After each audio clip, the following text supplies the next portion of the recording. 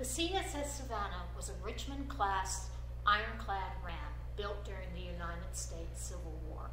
In 1861, she was ordered to be constructed according to the requirements for home built ironclads, but she wasn't commissioned until July of 1863, so her career was brief. Museum interpreter Jim Dunnigan is joining me today to discuss this vessel. Hi, Jim. Hi, Wendy. So, tell us about your uniform. My uniform is the working kit for a crew member of CSS Savannah in June, July of 1863.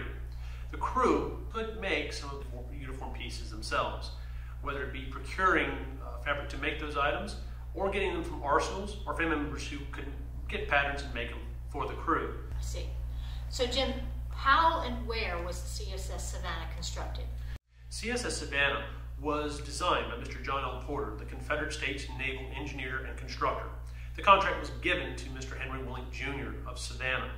He laid her down in April of 1862, and she was launched February 4, 1863, and continued to outfit till July of 1863. CSS Savannah is also not a small vessel. She's 172 feet 6 inches in length overall, 34 foot beam, and a 12 foot draft. She has 4 inches of plate iron armor on top of her casemate with a 22 inch live oak and pine backing behind it. Her knuckle, which extends well below the waterline, the short fore and aft and shield decks are also plated in two inches of plate iron.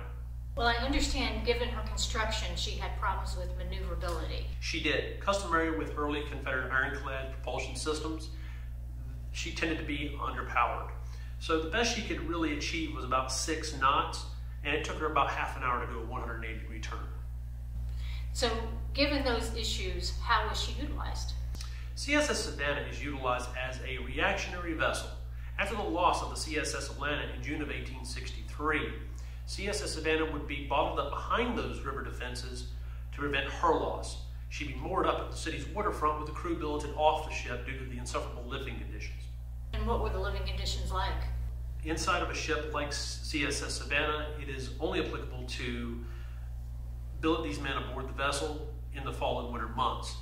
During the summer, that's just not possible. You're looking at a rotation or a skeleton crew to keep things operating aboard, aboard the ship. In those summer months, in subtropical Savannah, it can get north of 125 degrees, and these men are wearing woolen flannel uniforms. We also mustn't forget these men are also enduring mosquito-borne illnesses like yellow fever and malaria, and that's quite commonly seen and run through the squadron. So, what were her activities for the remainder of the? Very lackluster. She really didn't see any combat going forward. Even with the arrival of Sherman's forces at the doorstep of the city of Savannah in December of 1864, her job was to support Army ground operations around the city, and on the 12th was requested to go to Screven's Ferry, but she arrived the following day. She would remain in that position until the early morning hour of the 21st of December. Shortly after the forces here had evacuated, they set fire to her and then captured by federal forces. Crew themselves would actually head off into South Carolina and rejoin those forces for the remainder, for the duration of the war. After the Savannah is set ablaze, there were rumors that she exploded, and a resident of South Carolina claimed that the explosion was so massive it blew out several of the windows in the homes there. Join us next time as we take a look at the first flagship for the Ocean Steamship Company of Savannah, appropriately named the city of Savannah.